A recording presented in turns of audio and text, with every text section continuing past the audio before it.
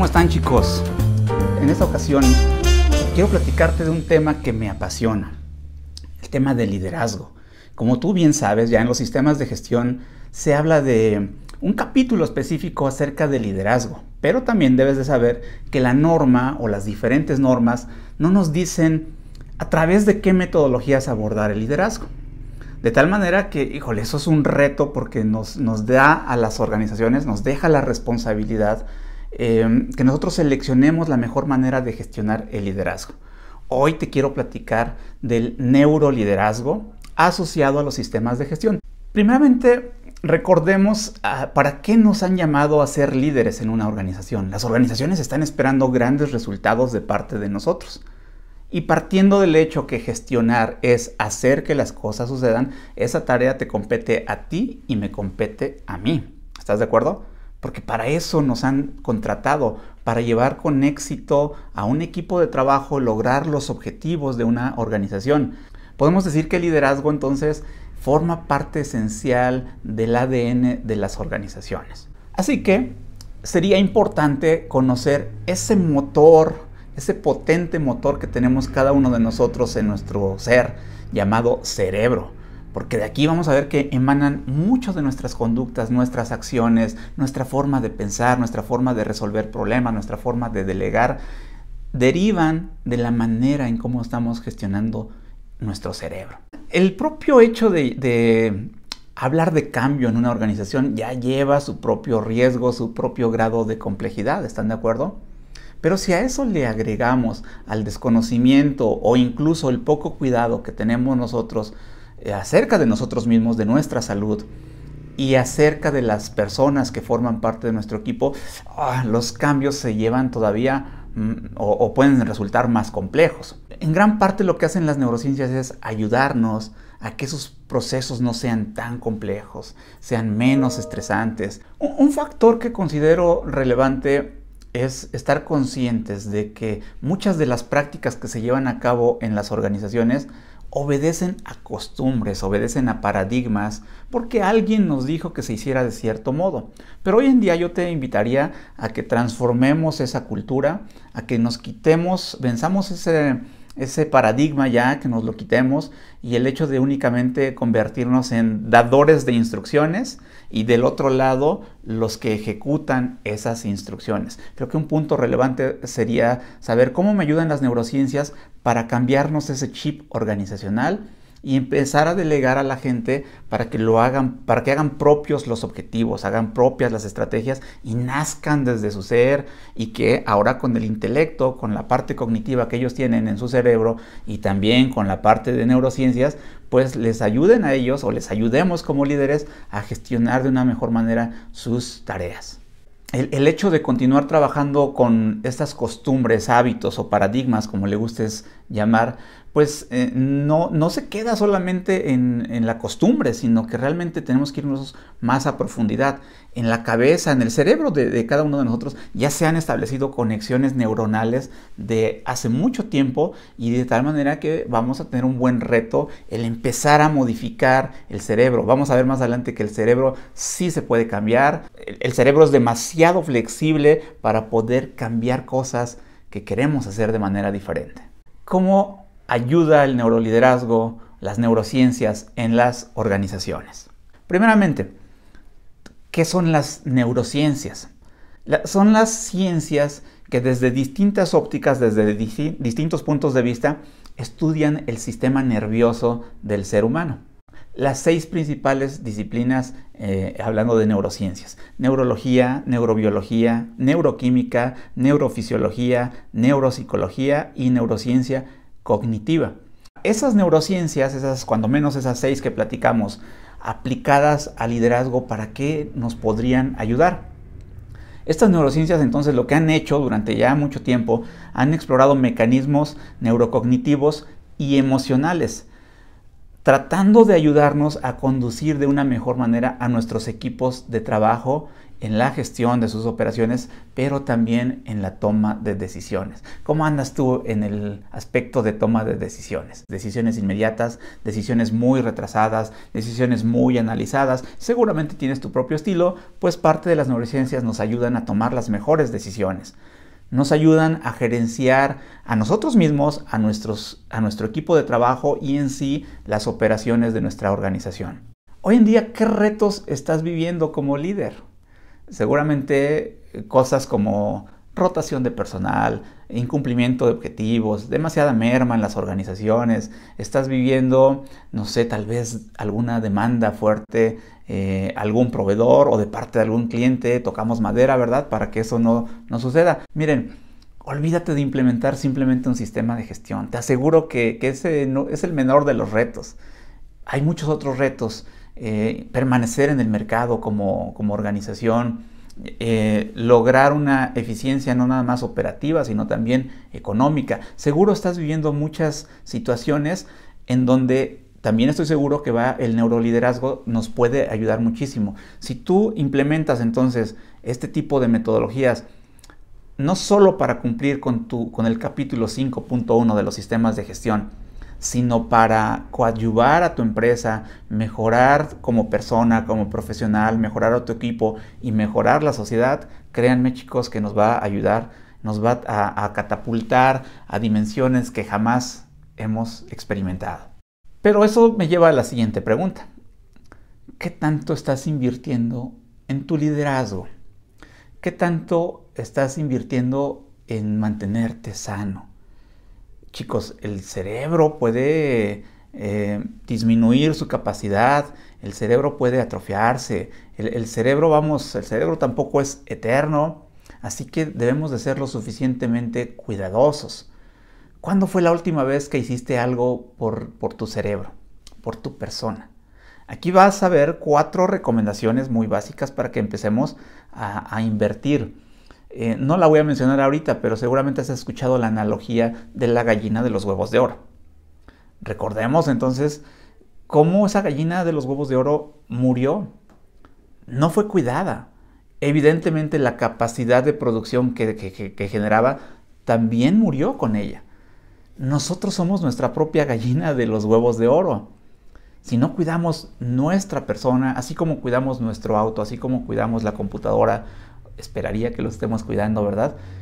Eh, tiende a perderse, chicos. Así que no te acabes esa gallina de los huevos de oro, inviértele en el ejercicio físico, inviértele en aprender cómo funciona el cerebro, cómo se articula todo lo que tenemos dentro del cerebro para una mejor gestión. Ser líder de mí mismo, aprender y ejecutar técnicas de meditación, la verdad las cosas es que hoy en día las necesitamos para salud física, salud mental, salud emocional. Por ejemplo, ¿qué has experimentado cuando realizas ejercicio físico? Seguro eh, sientes cosas, tal vez no, no somos conscientes de qué está sucediendo, pero nos sentimos bien. Pues por supuesto, porque se liberan neurotransmisores como la dopamina, la serotonina, la oxitocina, y de alguna manera nos traen bienestar físico. Otro beneficio de hacer ejercicio físico es que nos reduce los niveles de estrés y vamos a reducir también el riesgo de enfermedades mentales. Así que trabajemos en el cerebro. ¿Cómo está funcionando el cerebro? Hoy en día lo sabes. Sería muy bueno que aprendas a manejarlo porque cuando operamos una máquina, un vehículo o una maquinaria en tu empresa, estarás de acuerdo conmigo que si, si no sabemos cómo operarla y solamente nos vamos a prueba y error, no vamos a tener los resultados que estamos buscando, en el mejor de los casos nada más eso, en otros incluso vamos a lastimar la máquina, la vamos a atrofiar, la vamos a descomponer y eso me va a llevar a otras consecuencias incluso de índole financiero también. Así que creo que si tenemos una super máquina aquí en el cerebro, o mejor dicho, siendo el cerebro una super máquina, creo que valdría la pena aprender cómo está funcionando. Recuerda que el cerebro lo utilizamos en, cómo sentimos, en cómo nos relacionamos, cómo amamos, cómo trabajamos, para muchas cosas. Entonces creo que vale la pena invertirle un poquito de tiempo. Hoy en la mañana, de hecho, leía que a veces para la toma de decisiones el cerebro va 7 segundos adelante de nuestra voluntad incluso. Pero a veces esa decisión no es la que mejor o la que más nos conviene. Así que si dejamos que el cerebro también actúe por sí solito, chicos, es un, es un gran riesgo. Entonces valdría la pena salirnos de esa caja llamada cerebro, en donde de repente nos encapsula con las tomas de decisiones, salirnos de allí y pensar qué otras alternativas. Pero vete consciente de, eh, con esta sesión que lleva, el cerebro lleva 7 segundos de ventaja. El conocer al cerebro nos va a permitir conocernos cómo, emocionalmente, también cómo actuamos, cómo reaccionamos y nos va a permitir establecer eh, una decisión de cómo quiero que actuar la próxima vez. El cerebro, chicos, por otro lado, necesita un relacionamiento social. De tal manera que si en las conductas de nuestros equipos de trabajo de una u otra manera hay rechazo hacia alguna operación, hacia alguna actividad, hacia alguna acción, hacia alguna estrategia, de repente, híjole, como que le hacemos el feito a, algo de nuestros compañeros de trabajo, créanme que el, cerebro equipara esa situación a un malestar físico. Entonces, creo que alguna vez has trabajado estando con malestares físicos. Eh, sería muy bueno que, ahora estés consciente de que el cerebro, vuelvo a repetirte, equipara eso a un, el rechazo a un dolor físico. Conocer cómo funciona el cerebro realmente te va a ayudar a una mejor relación con tu equipo de trabajo. Eso es parte de, los beneficios de saber cómo está funcionando el cerebro. Hablemos un poquito de la neuroplasticidad. Y vamos a separar su definición en neuro, que tiene que ver con las neuronas, con el cerebro, con el sistema nervioso, y con plasticidad, que es una capacidad de moldear algo, algo muy flexible.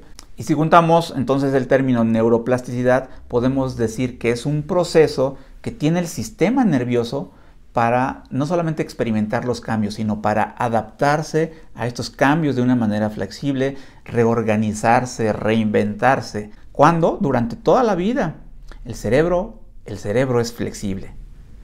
Normalmente, ¿cuándo se activa la neuroplasticidad? Pues en principio, desde el segundo mes de la gestación empieza a haber ciertas modificaciones. Te comento que es durante toda la vida, pero dos situaciones muy particulares en las que el cerebro eh, eh, tendría la capacidad de adaptación o de readaptación es cuando hay alguna, cuando hay cambios en nuestro entorno, en nuestra vida, cuando experimentamos algunas situaciones que generen esos, esos cambios eh, físicos, emocionales. Hablando de los físicos, puede ser incluso cuando tengo alguna lesión, algún traumatismo después de algún accidente. Eh, seguramente has escuchado de gente que, de pronto perdió la memoria y, y, esa neuroplasticidad nos ayuda incluso a reaprender algunas cosas que tal vez habíamos olvidado. De manera lamentable sabemos que hay personas que incluso tienen que reaprender a caminar, reaprender a comer, reaprender a hablar, eso se llama neuroplasticidad. Van a surgir nuevos aprendizajes. el cerebro, nuestro ser siempre va a seguir aprendiendo cosas. Nos va a permitir adaptarnos a, los problemas, a las situaciones diarias. Vamos a aprender de los errores y la neurogénesis, es decir, siempre vamos a tener crecimiento continuo de nuevas células que puede obedecer a través del ejercicio físico, pero también a través del ejercicio cognitivo.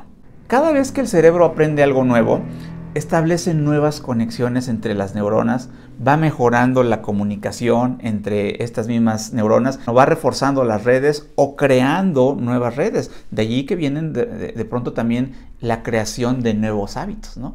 Eh, justo esos famosos 21 días, que hay quienes dicen que no son 21, hay quienes dicen que pueden ir incluso de 60 a 120 días para crear un nuevo hábito, pues es, es el tiempo que se va dando en nuestra cabeza para crear esas nuevas redes y habituarnos, acostumbrarnos, ese sería el hábito, a nuevas actividades. ¿Y cómo estimulamos la neuroplasticidad? Cambia tus rutinas. E, y miren que para mí es difícil decirlo, porque yo me considero así como que alguien muy de patrones, a veces hasta aburrido si ustedes quieren, porque soy muy de rutinas.